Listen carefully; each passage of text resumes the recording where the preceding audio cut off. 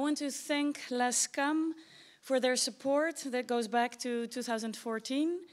And uh, for this session, I want to especially thank Astrid Lockhart for her collaboration. And um, now I will give the microphone to Martijn Winkler. Uh, he's a filmmaker nominated uh, for a Rose d'Or, and he's on the board of the Dutch Directors Guild. Thank you, Loreen. Um, hello, everybody. Welcome uh, in uh, in real life. I'm still trying to get used to that. Uh, luckily, um, in that case, we also have a bit of Zoom in this session to, you know, uh, not to make the switch to live that harsh. Um, we have two terrific guests uh, with us uh, to chat with today. Um, two directors of astounding works, I think, uh, and with great stories to tell. Alice Diop, um, she unfortunately cannot travel outside of France, uh, so she is stuck in cyberspace in Zoom. But I'm really happy that she she is here uh, through this connection. So Alice, uh, bienvenue. Uh, thank you for being here. And we have uh, Jérôme Clément-Wilz, uh, also a director. and um, I'll go into what we're going to do this session, but just for your information, for the first part, he will also serve a bit of a, as a translator between Alice and us here in English, um, since uh, Alice is more fluent in French. Obviously, uh, we are probably less, so uh, Jerome is happy enough to jump in to make that transition a bit easier. Um, so we're going to talk a bit about, uh, in this session, which is hosted by uh, La SCAM, um, about careers, what it's like to have a career as a director. Uh, and when you talk about the work of a director, you talk about the artistic standpoint, uh, what it means to direct, to create films, to tell stories. Uh, and we, we have two terrific instances uh, of directors who do just that. Um, but we also talk about how do you sustain a career, how do you build that up, and how do you make, well, how do you earn a living as a director? And that that's when we come uh, into play in in words like contracts and author's rights. Uh, so we're going to uh, make a bit of a transition about talking about the craft of direction, the artistry of, of directing, and how you're able to sustain that uh, as a living. Um, so uh, I also like to, when I'm looking in the audience, uh, just to see who we have here in terms of what kind of uh, people you are. Are there any directors in the audience? Just raise your hand if you're, yeah, I see several directors. Any producers? We have, well, some, some people are directing and producing. That happens a lot, yes.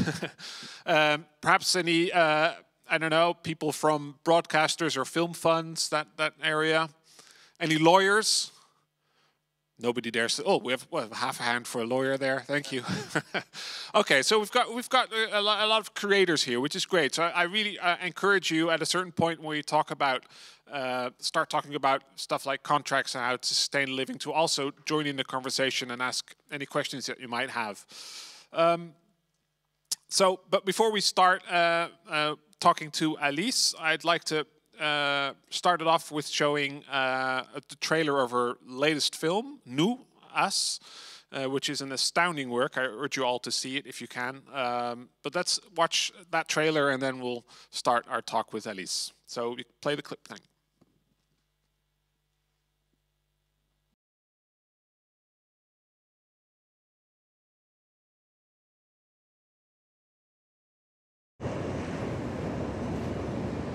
Nous ne signifie pas les miens, tous ceux qui sont pareils que moi, mais tous ceux qui pourront être le jeu de ce nous.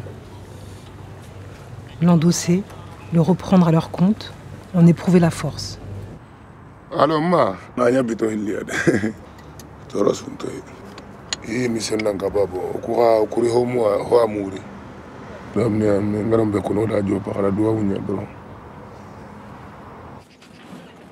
Il ne s'agit pas avec nous de dire qui je suis, de me déclarer.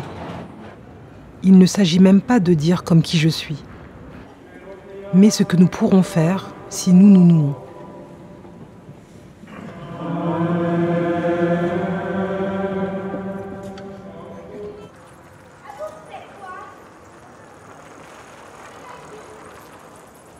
C'est les avions qui vont, frère. Euh, un jour de vol, frère.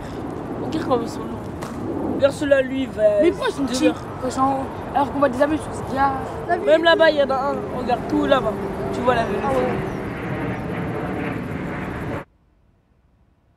Nous et les résultats d'un jeu qui s'est ouvert, qui s'est dilaté, déposé au dehors, élargi. Pourquoi te filmes Ah, ah, parce que je suis célèbre. Parce que t'es belle. Ah bah oui.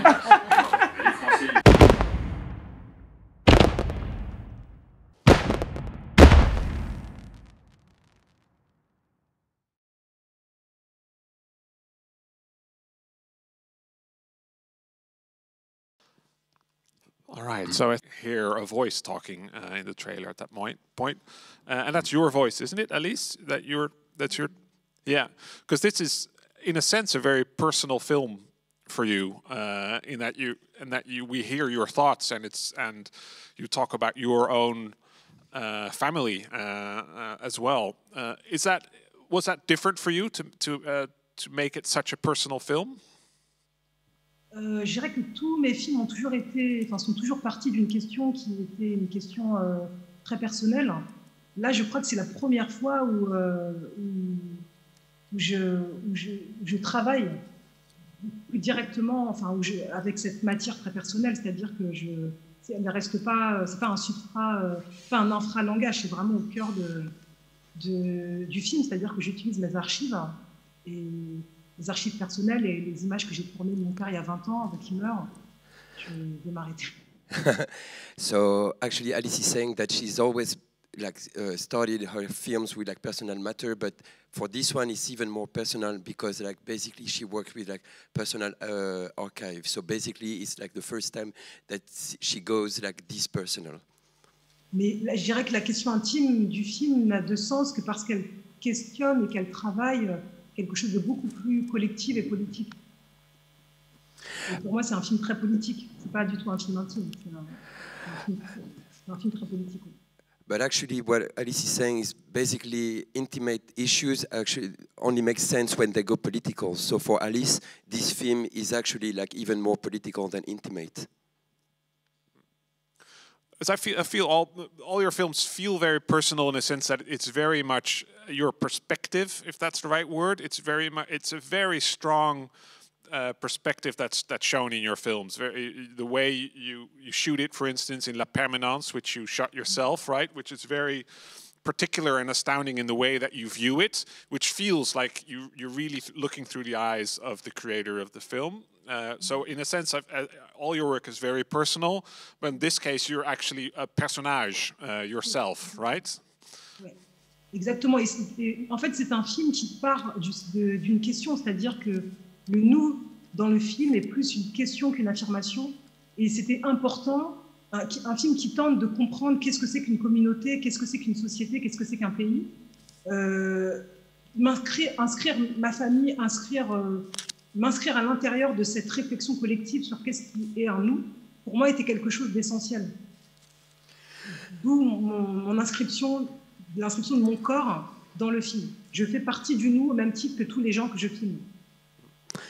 So actually, so this film started off with a question, which is what is us. And actually, for Alice, us or we is more a question than uh, an affirmation.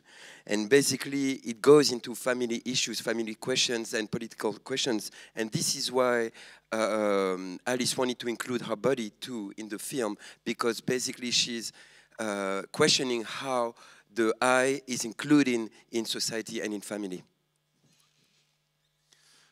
So maybe could you uh, talk a bit about how you um, approach filmmaking from the start? I mean, this, for instance, uh, Nous.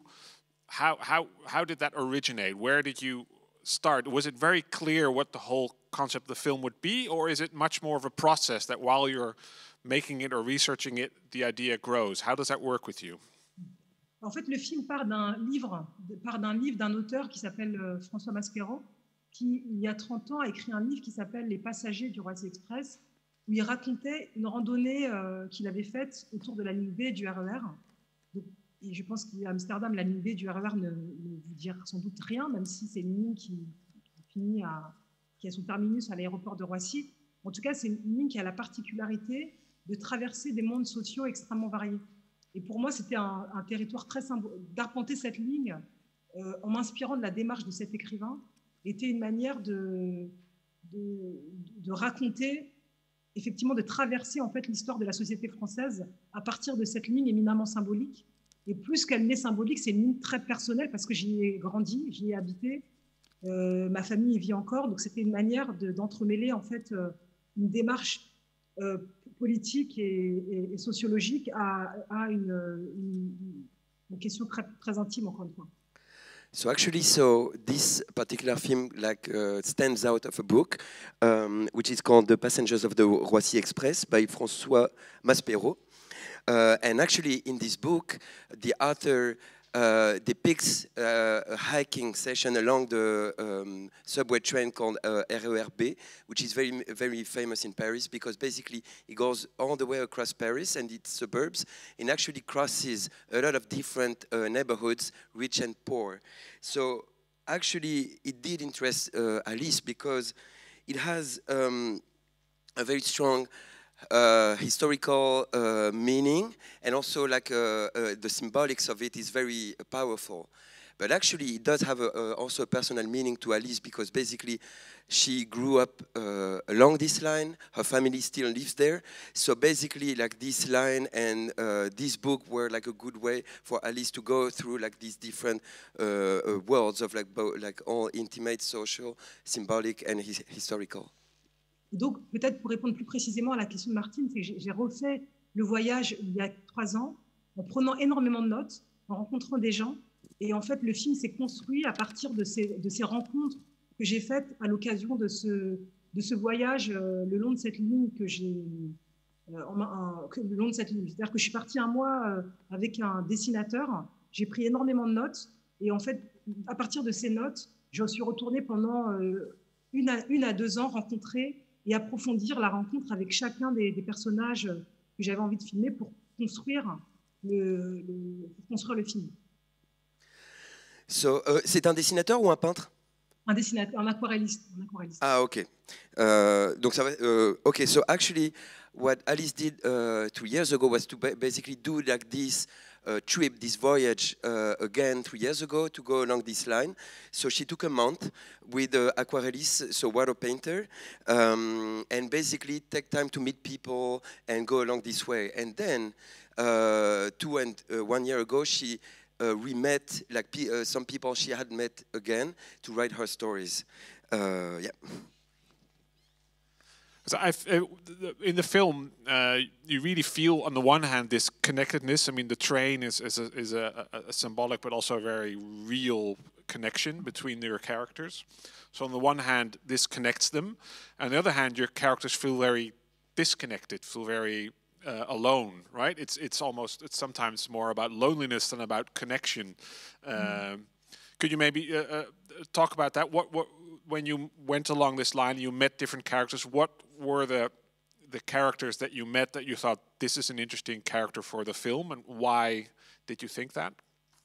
Alors c'est vrai que moi j'ai pas voulu faire de de, de, de casting ou j'ai pas voulu que chacun des personnages soit le représentant d'une catégorie sociale.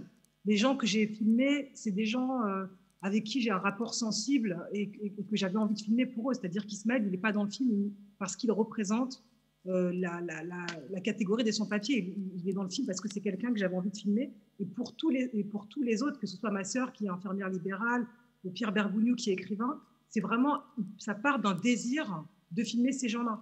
Mais c'est sûr que construire un film à partir des fragments de leurs histoires, pour moi, c'est une manière d'interroger à la fois l'existence d'un nous, de dire que finalement, une communauté, c'est tout ça, c'est-à-dire que ça va d'un sans-papier qui vit en France depuis 20 ans à, l'histoire d'une famille sénégalaise dont les parents sont arrivés à 45 ans et dont les enfants sont devenus français, à des catholiques intégristes qui célèbrent la mort de Louis XVI tous les ans. c'est vraiment une succession comme ça de, de fragments de gens qui vivent sur un même territoire, mais qui la plupart du temps s'ignorent. Et d'une certaine façon, le but du film, c'est d'être en additionnant tous ces récits, toutes ces histoires, c'est une manière de, à la fois de, de, questionner l'existence d'un nous, parce que qu'est-ce que ça veut dire de faire nous avec des gens qui vivent à côté qu'on ne connaît pas. Et en même temps, c'est de, de, réaliser par le film ce nous qui est toujours et encore, encore en question en France aujourd'hui. So, non, non, non, c'est cool, il n'y a aucun problème. Et c'est passionnant. so basically what Alice uh, just said is basically she didn't, didn't want to do like a casting of protagonists. Basically, she didn't, she didn't want like each protagonist to stand for a social category, like meaning like the illegal immigrant or the whatever, whatever. Basically, she chose the protagonist she wanted to film out of sensitive connection to them or like more like a relationship that she created to each protagonist that she decided to film and these all these protagonists actually like made fragments of lives that uh, did exist uh, in this film.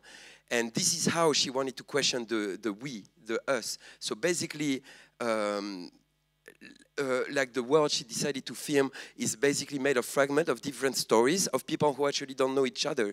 And so going into like these fragmented realities was for her also a way to question this we.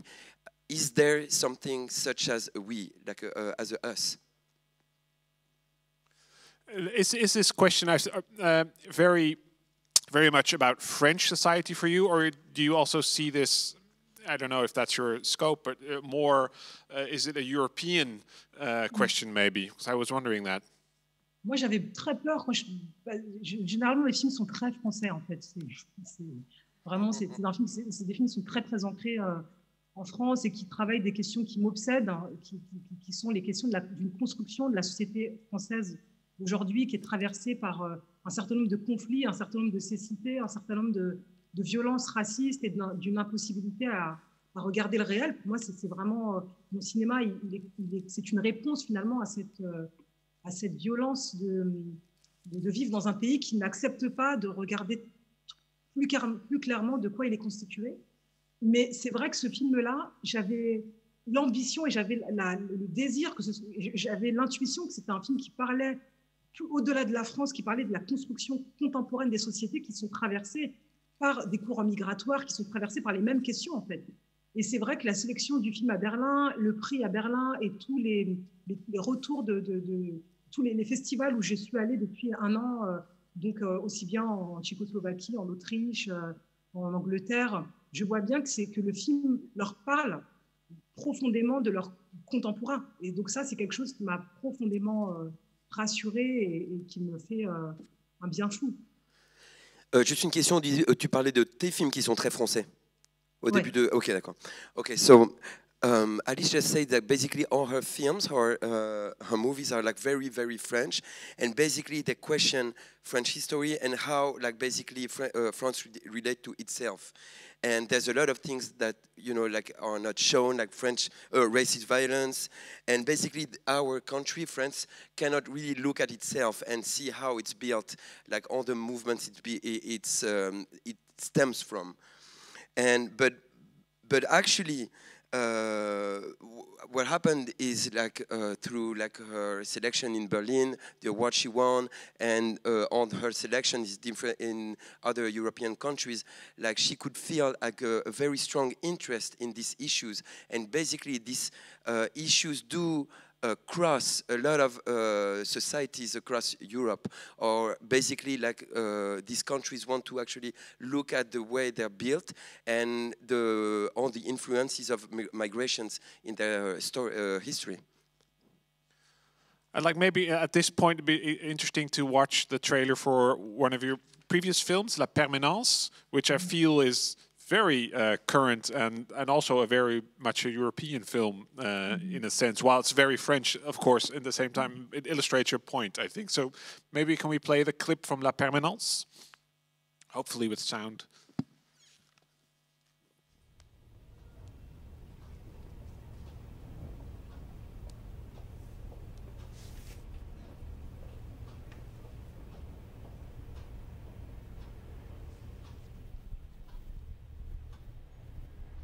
Euh, depuis que vous êtes arrivé, es arrivé en France, euh, tu pas, j'imagine, t'es pas venu avec un visa puisque tu es. Oui, non, dès que je, non, depuis que je suis arrivé le 30 mai, ça au moins, c'est sûr. 30 mai Oui. Mais avec un passeport? Oui, avec un passeport. Vous avez le, passeport Non, je l'ai même pas. C'était un, c'était pas le passeport à toi, de toute façon, non, non, c'est un faux non. passeport, probablement. Ben non, parce qu'il est, euh, je veux dire, il s'est fait, euh, je veux dire, euh, il, il a eu l'armée là-bas, euh, il est parti comme il a pu, quoi.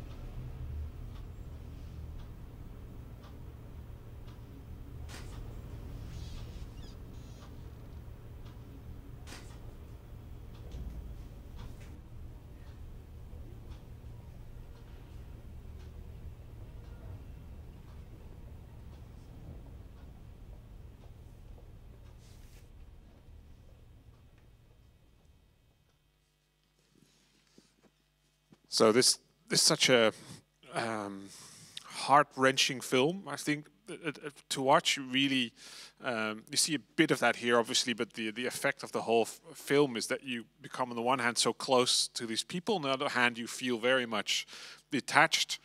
In, in the world that they're set in, uh, the world of regulations and rules and passports, and the frustrations both from the doctor, because these are all people in a uh, who visit a doctor, right? The doctor's posts for various medical or uh, psychiatric reasons, and then slowly you find out what's what the turmoil is in their minds. Um, uh, it's you've you've really set uh, said it in a very radical way that it's just in this enclosed space where you're in. You there's no escaping it.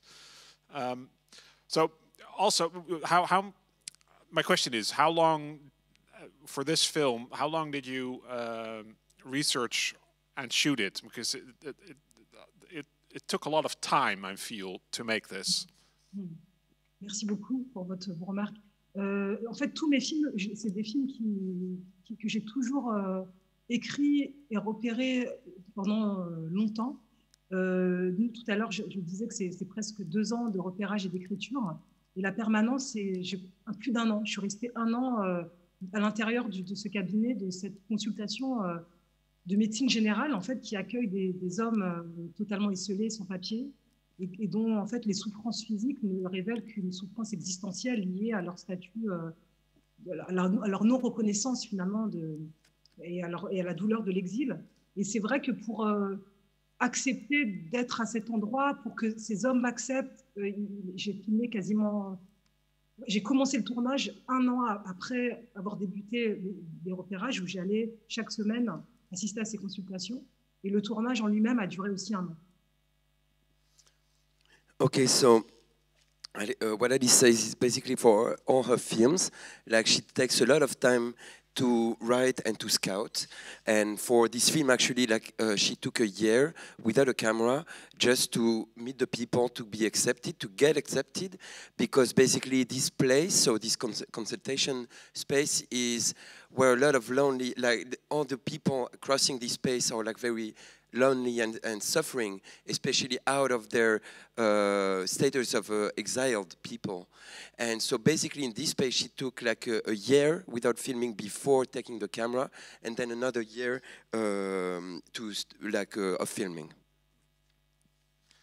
So I, I think that's in this craft of documentary directing. That's a very um, unique aspect in, in, in terms of of uh, having a career and making a living. This huge, um, let's say. Um, investment in time, uh, effort, and also personal investment. If your personal story, investing in other people to you know to get them to work with you. Uh, so, my how how do you approach that in terms of let's say uh, funding or uh, making making a living as a director? I mean, is this is this an easy uh, effort? How, how do you how do you manage to to create if it takes so such a long time before the film is finally finished? Alors là, je veux bien que tu me. Parce que je ne crois pas avoir complètement compris. C'est une question de comment tu vis euh, avec ce temps si long. Euh... Ouais, exactement. Donc la question, c'était donc euh, et, euh, surtout pendant la période d'écriture, etc., qui prend énormément de temps. Et donc du coup, bah voilà. Donc comment tu réussis à quand même gagner ta vie avec des temps qui sont aussi longs? Ouais, ouais, ça, ça, a été très compliqué jusqu'à récemment, en fait. Mais pour des, raisons que je pourrais expliquer tout à l'heure en fait, c'est quasiment impossible parce que le temps de vivre euh, de l'écriture, parce qu'il y a très peu d'aide à l'écriture, il y a très peu de financement à l'écriture, il y a très peu de développement. C'est-à-dire qu'il y, a peu de producteurs. En tout cas, moi, ma productrice, elle n'a pas forcément les moyens, elle n'a pas du cash pour, me permettre de, me. En tout cas, sur, la permanence, je crois que c'était plus compliqué euh, que sur nous, où là, j'ai pu un peu euh, avoir une somme qui n'était pas extrêmement confortable pour pouvoir écrire.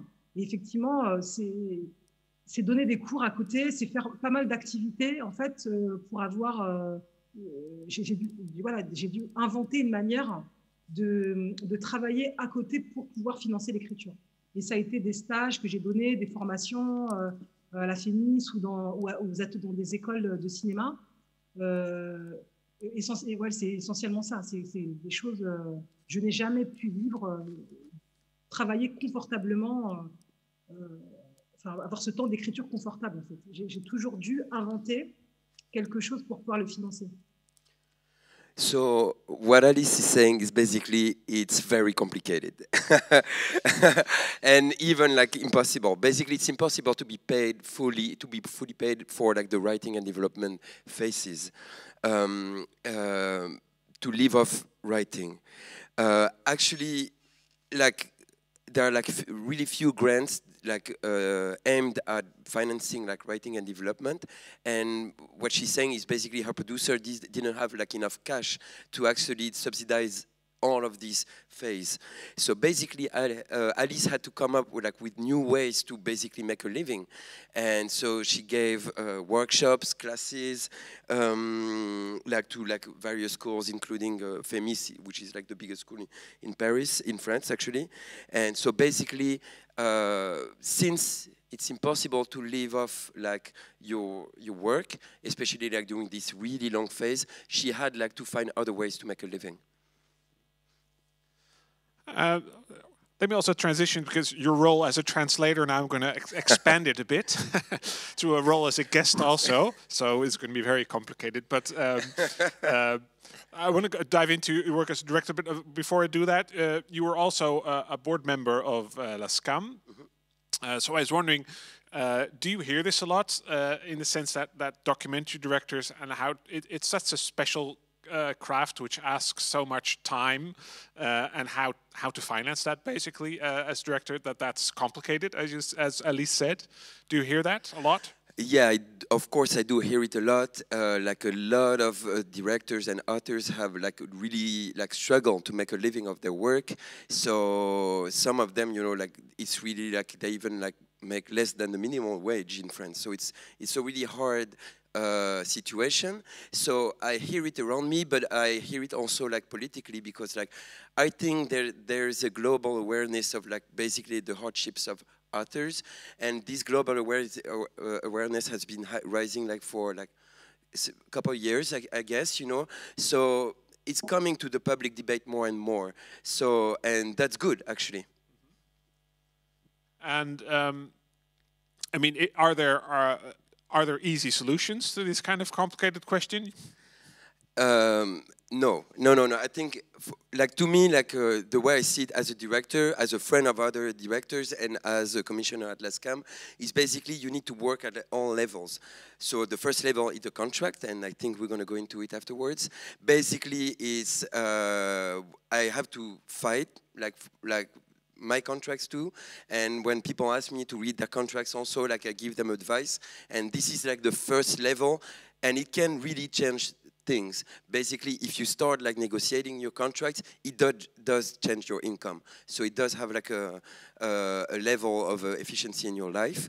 Uh, and then you have like all the political levels. So La SCAM works also kind of like a union, like to make it simple. And so you have like a um, more like uh, like political pressure that you you can uh, you you can push also.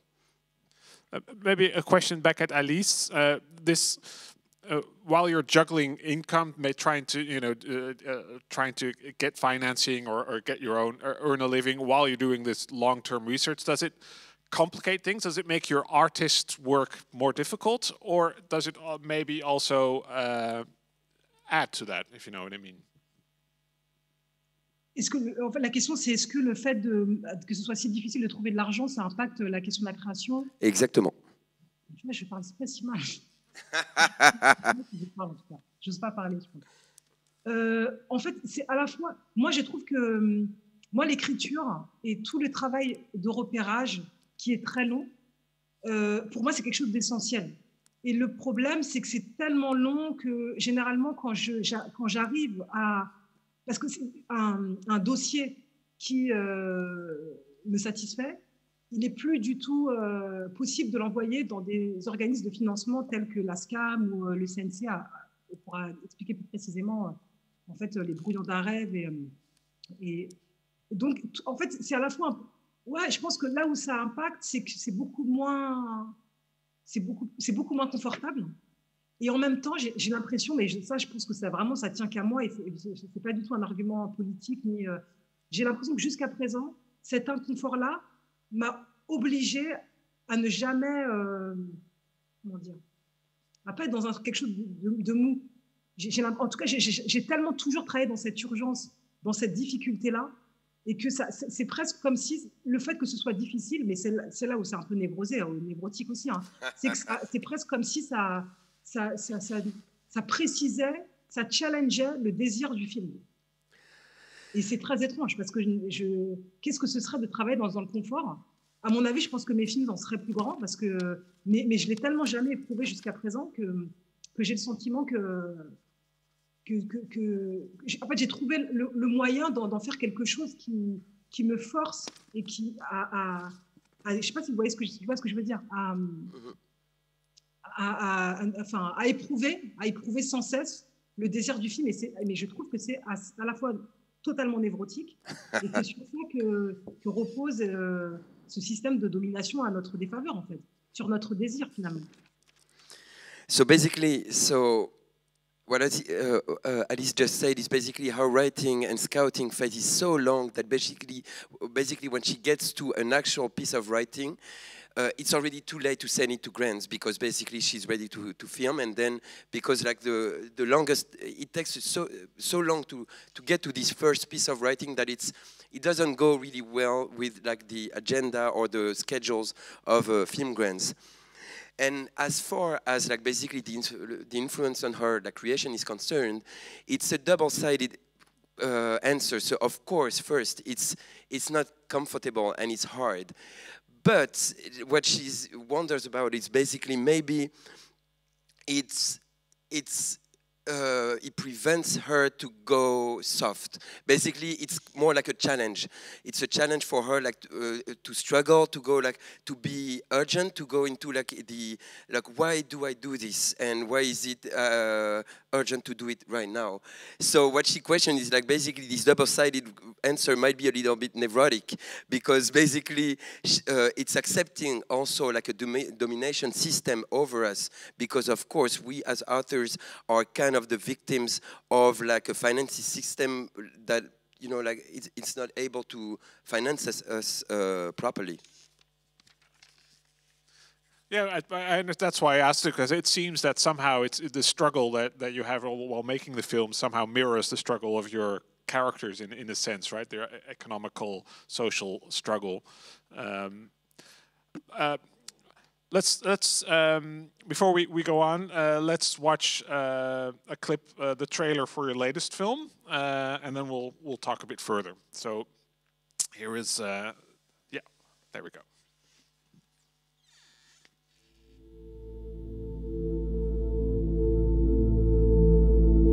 La nuit, c'est tellement silencieux, c'est calme.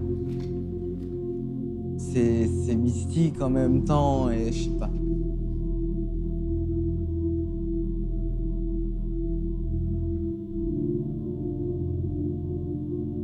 T'as plus le choix du temps, t'étais... Le temps te court moins après, tu vois. Dans le sens, c'est plus toi qui cours après le temps. Moi, je sais que la nuit, je. je, je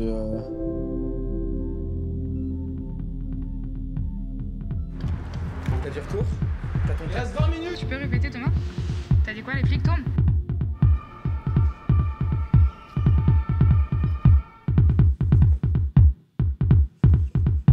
C'est code, donc t'as dit voilà, l'humain vit la journée, dort la nuit. En journée, il faut être opérationnel, la nuit, il faut dormir.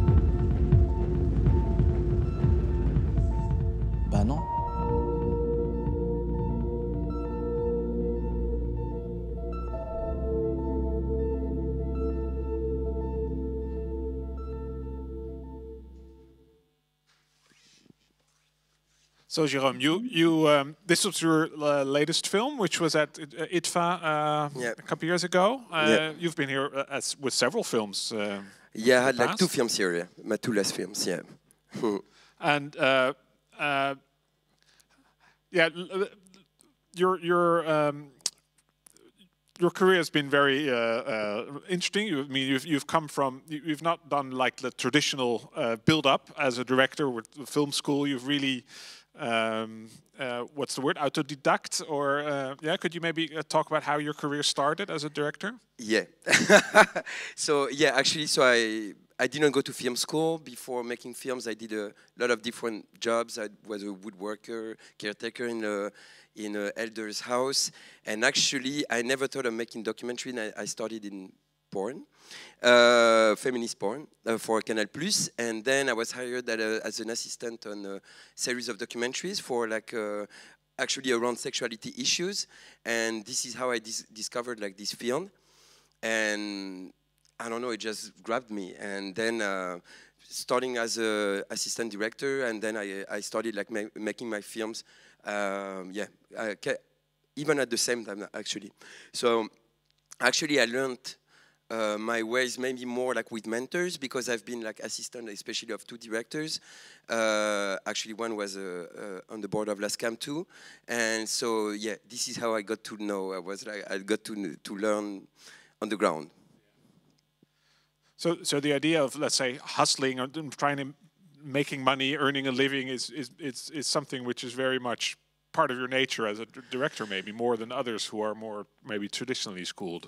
Yeah, I mean, especially because when I started making films, uh, so these like my first films were not as much financed as uh, the ones that I'm making now, but I always made sure that you know like the way money is uh, is shared in the in the budget is um, let's say fair. And I never wanted to to have an outside job like. Uh, like I never, I was proposed to teach and everything, and I was refused, and I was like, no, I'm supposed to make a living out of my work. So basically, from even when I had like a lower budget, I always because, but it was like a heavy negotiations with the production companies to say, okay, I need my fair share of the budget because I'm the core of it. Um, and even like um, like with like documentary shorts, there are ways like, like to get more money out of the uh, out of the budget. Is that a topic that directors, uh, documentary directors, li- like to discuss? Money is that something that's easy? No, definitely not. And I think uh, it's, I mean, I would say in France that maybe it's hard to talk about money, like in general, but also because um, a lot of directors uh, feel isolated.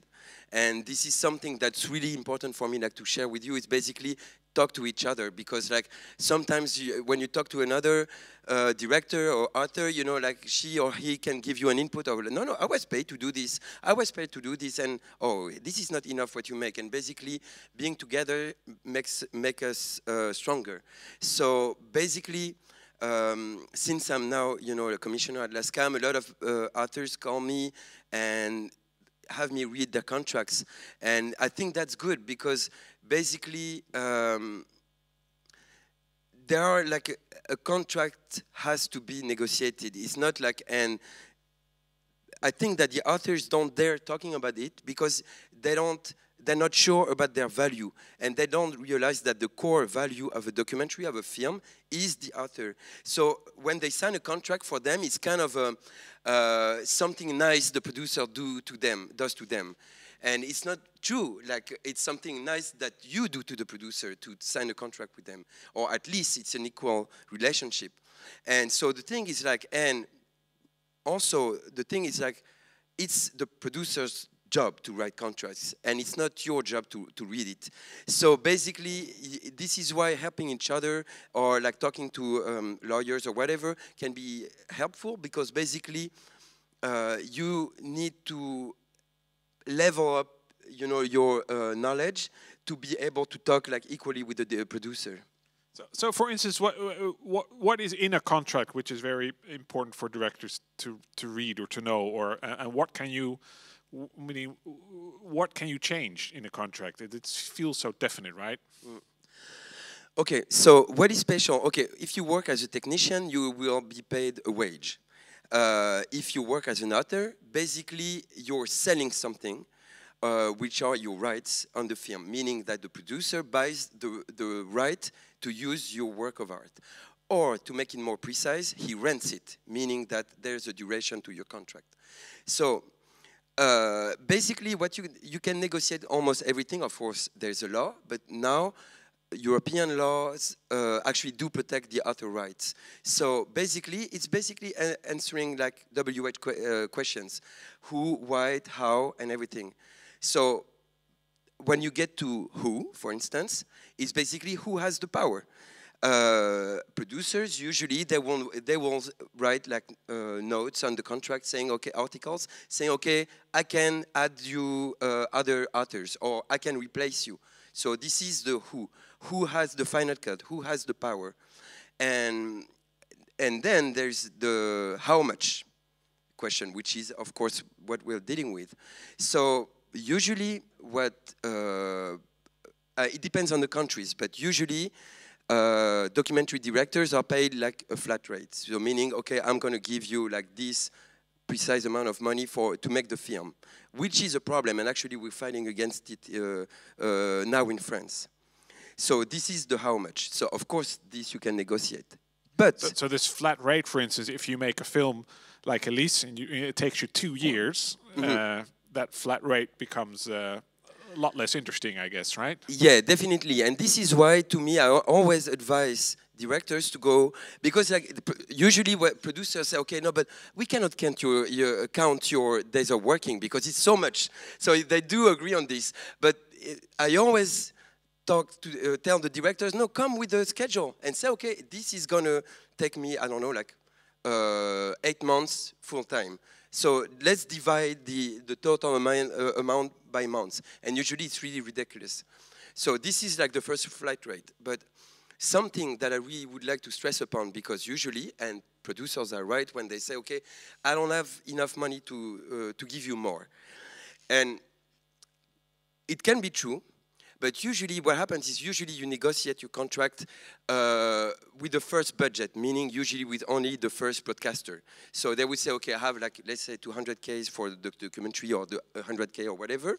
So with this amount, I can give you like this flat rate.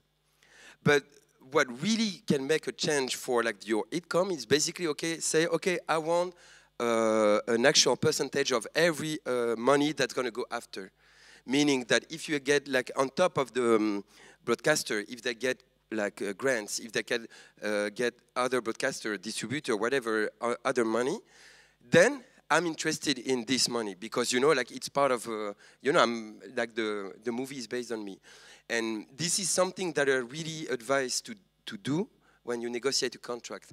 And like to me, like for instance, when I do, I did. Um, Spring, which is like a short documentary that, it, that I did, that opened in uh, Rotterdam. And basically, there were like really little, little money, uh, just like a little public funding. But what I, what I did was like, okay, I almost work for free. So I want, and I'm, I'm, I'm telling you it's true, I'm like, big, I'm the main producer of the film. So I want, and I got 80% of the royalties. I'm like, I'm the producer. So, and it does make me now, because it's still screened in the museums or festival, and it does make me like, uh, uh, I don't know, like a thousand euros a, a, year. So it, it is re really helpful, especially when you work in fragile budgets, to actually like negotiate hard. And when it goes to percentage, it's not a big risk for the producer because basically you're just betting on the success of the money. But it's re- it, it really can make a big change for you. I think it's a, a good point because uh, I don't want to make it like it's us against producers. No, no, no, no. have, you know, it's just the budgets are low, so you know, it, it's not they can't pull money out of thin air. But this is a way to think about what you're creating. That what's maybe if there's money made from the film when it's finished, that you're, uh, you know, you get a substantial uh, percentage or income of that. Uh, do you have any idea uh, in, in your experience? Is this done a lot, or do, do directors negotiate their contracts enough? Okay, so uh, it's I don't think so because a lot of I mean like people who come to me or who I talk to usually they say me okay uh, they tell me I didn't even read the contract or it was too complicated or whatever. So at least there are like a couple of numbers that you, if you don't want to read the whole like 20 pages, there are a couple of numbers that you are to look into, especially the length of uh, rights you're selling, meaning, okay, am I giving out my rights for 10 or 30 years or 70 years? Of course, the flat rate, and then the, per, uh, the percentage of royalties. And these are the three figures, uh, the three, three numbers that you want to go into. And, but usually, unfortunately, uh, they don't. And I think, and you were talking about like something ne- neurotic, because I think it also comes from the fact that we don't think we deserve it and because like if a technician comes like a, has to come a second day because there's a problem uh, in the shooting whatever you cannot film the protagonist he's not available whatever he's going to ask for another day of wage and but you don't dare to and to me the first thing is to change I mean, one of the things is to change one's mindset. I have an example. I'm, I just finished yesterday a film, and so we had a lot of, you know, like uh, changes of programs because of COVID. And at some point, I just said to the uh, executive producer, and I was like, okay, if you can, I know that, you know, we have like spent too much, everything was complicated, but if you can, please, give a little more. And she did. And I didn't, you know, I didn't, you know, shout, I didn't yell. And it's just like, you can always like, at least say it and then see. And uh, maybe in, in terms of this discussion, an organization like uh, SCAM, which is French, but every country has uh, uh, an organization like SCAM, right? Um, could you explain a bit what what what do you do? What does SCAM do in this in this instance? Okay, so now in European law, authors are entitled to receive a, share, uh, a fair share of the income of their film. Meaning, as soon as a film is used or like uh, exploited, uh, they have to have a share. So it's been in French law for years, and it's been in uh, European law for uh, since uh, 2019.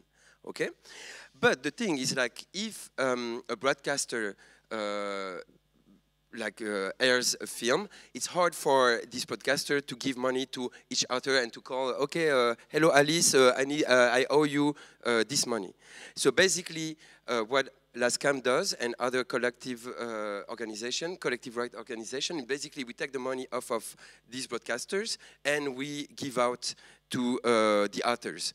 So. um, in France, this like the, the this French uh, society is maybe is the biggest in, in Europe because we take money from almost all uh, the um, the ways to exploit uh, documentaries. So we, we take it from broadcasters, but also from Netflix, from YouTube, and everything. So basically, we hand out more than 100 million euros a year to uh, authors. And then, uh, with this money, we also have work more like as a union. Basi- Basically, we defend the rights of authors to broadcasters. We are, we are now negotiate, uh, ne- negotiating uh, something with the France Télévisions, and also, of course, with the Ministry of Culture, with everyone. So we advocate basically our rights. And now the, this time is very crucial because we can feel, as I said, like a global awareness around these issues. And then, uh, which is why we're here now. Also, we had like a, we spend money on culture, uh, cultural action. So basically, we give we give money to grants. Uh, Brouillon d'un rêve, we talked about it. It's a filming grant. We we give out awards to best documentaries of the year for life, lifelong achievement and everything. And also, uh, and and also we fund festivals, including uh, I- And this is very much about a collective, right? I mean, the board which you're on uh, is made up of film directors. Yeah. Um, so- directors and authors. Directors Uh, so actually, we are, we not only represent documentary directors, we also represent uh, radio uh, authors, uh, photographers, uh, like uh, other fields of uh, uh, state, state uh, right holders. But like the main income is uh, documentary and reports. I just want to take a look into the audience if I can see if there's any uh, questions which are uh, have arisen about uh, for Gi- either Jerome or Alice. Please uh, don't be uh, bashful and raise your hand, and I can see if there's any. Yeah, we have a question in the back, and we have a microphone coming towards you. Um, do you have? Hey, how are you? Hello, I'm good. Uh, my name is uh, Amr Saeed. I'm uh, Egyptian, based here in Amsterdam, uh, working on a multicultural film. And I'm curious if you have, in your experience, worked um, on a documentary that is exploring different cultures. So, in terms of co-productions, say I'm, I'm working with different Mediterranean citizens. How do you go about that? Do you do you seek productions from every single country, or you say, okay, there is one other co-producer? How do you secure financing to this multitude of cultures? Are certain programs that you can recommend? Thank you. Okay, so I'm not a producer, so it's not my work. But from my experience, so I filmed a lot abroad. Uh, like before, I would work a lot on war zones. Now I film a lot in Haiti and in Canada. And from my experience, a lot of producers are.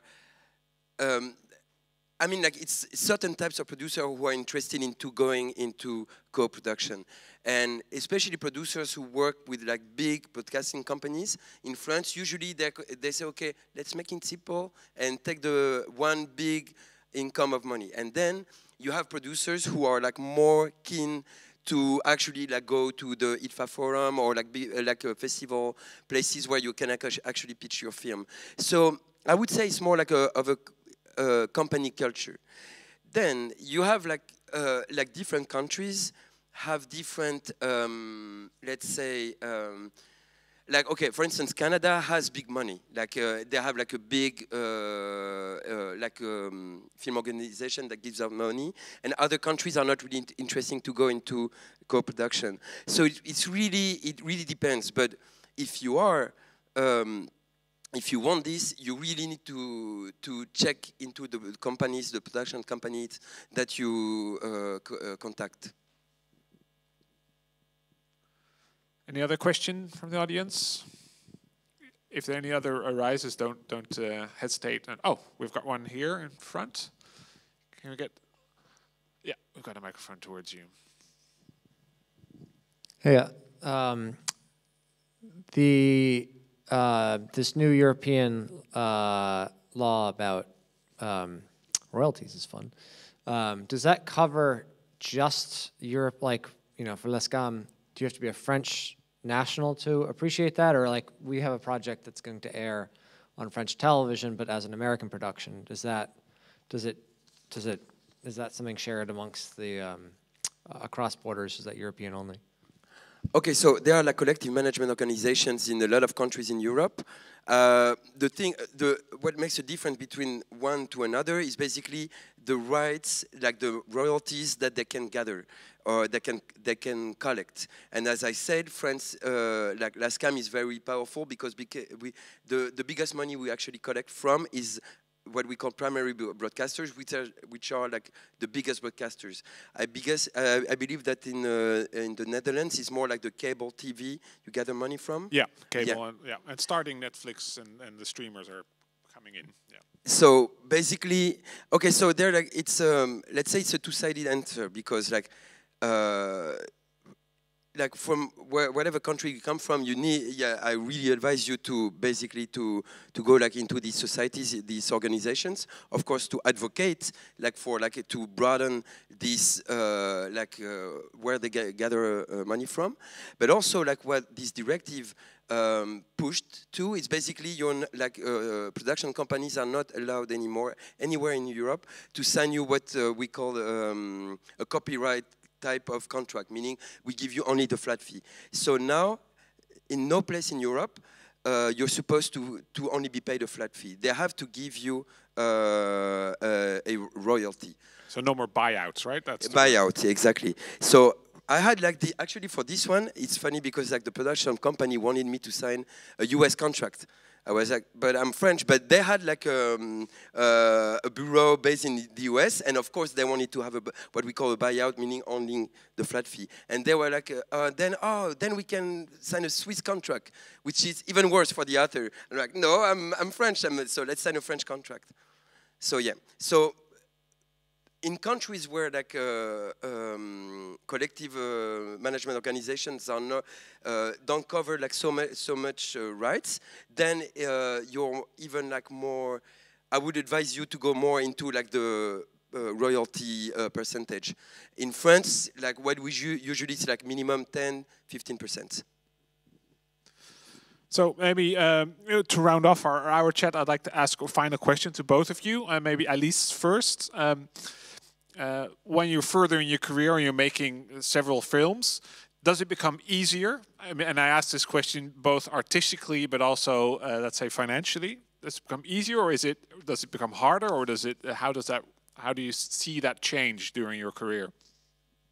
C'est sûr que c'est plus simple, je pense, et même dans la négociation des contrats, euh, parce qu'il il y a beaucoup plus de financement, parce que, les films aussi reposent de plus en plus sur mes mon nom. J'ai plus de facilité, en tout cas pour nous, j'ai eu beaucoup plus de facilité à trouver des, financements. Arte est rentré très tôt, c'est un grand format, donc c'est un film qui a été très bien financé.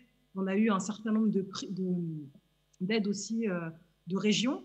Donc c'est sûr que, que ça a été plus simple aussi. Et je crois que j'ai acquis aussi, une- comme j'ai fait aussi de la fiction, là je viens de terminer un, tournage d'une fiction, et c'est d'autres euh, habitudes, en tout cas de négociation, qui sont beaucoup plus dures en fiction et beaucoup plus, et finalement beaucoup plus acceptées, alors que le documentaire, il y a toujours cette part affective et dans, qui, qui nous dessert beaucoup les auteurs, parce qu'on est dans des rapports beaucoup plus, euh, beaucoup plus directs avec des producteurs qui peuvent être des amis, qui peuvent être, c'est mon cas, des gens avec qui on, on côtoie depuis, tout, de- depuis longtemps. Dans la fiction, c'est beaucoup plus froid. Il y a beaucoup plus, par exemple, j'ai un agent euh, qui négocie mes contrats de fiction et qui ne négociait pas jusqu'à présent mes contrats documentaires. Donc je pense que le fait d'être passé par là, je pense que j'aurais beaucoup plus de légitimité à, à revendiquer en fait mes droits parce que mes films, mes films reposent essentiellement sur mon nom, ce qui n'était pas le cas peut-être il y a dix ans. Aujourd'hui, c'est mon nom qui finance plus que, que, la, que, que la production qui arrive à. Donc je sais que j'ai un impact dans la, dans, dans la, dans, comment dire, dans le, dans le financement du film. So ça me rend plus forte, en tout cas, pour négocier avec le producteur.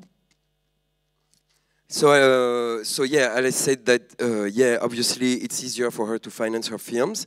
Uh, like, for instance, this film, uh, the first film we watched, uh, like had uh, Arte coming in really early in, through the financing and in a big, so it's called Grand Format, which is like a well-financed um, section of Arte. Um, and uh, and then they could get more and more money from like other fundings, like more selective fundings from regions and everything. Um, so now she actually just finished a fiction, and apparently, like uh, fiction. Uh, in fiction is more uh, accepted and more used to you're more used to negotiating hard and hard and hard. And uh, so now she feels more legitimate when she negotiates a contract and to when uh, like a documentary contract because basically uh, the film is finding uh, it gets money out of her name. So basically she had she's more legitimate uh, to ask for more money or like to negotiate her contract. So yeah she does feel stronger now And then uh, the other uh, hat, the other yeah. hat. oh, sorry. no, uh, uh, because of time, uh, let, Yeah, let's. yeah, uh, sure. Your, Uh, yeah, of course. Like for me, it's, it's let's say that. Uh, okay, from the fund, funding part of it, of course, it's more like uh, it's easier for me now that I've gained awards and everything. So of course, when you to, you talk to a producer or a broadcaster or like to a uh, like uh, um, whatever grant, basically, you of course you have a name, so they more like trust for with you.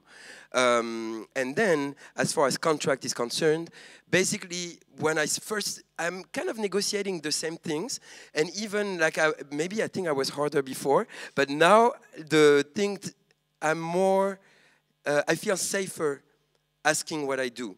Meaning that when I ask things before, I was only, uh, I was lonely. I was like, but this is not right. This is not fair. And now I just come and say, okay, this is it. This is okay. It's minimum 10%. No, no, no, no. And um, because I shared with other directors, and I know that what I'm asking for is not crazy. And I think that before when I started, you know, they wanted me to sign like contracts for a beginner. And so I would say that now I feel more stable. And basically, I'm like, okay, what I'm what I'm asking for is just like it's first it's lawful because sometimes they propose you unlawful things, but also it's just like fair.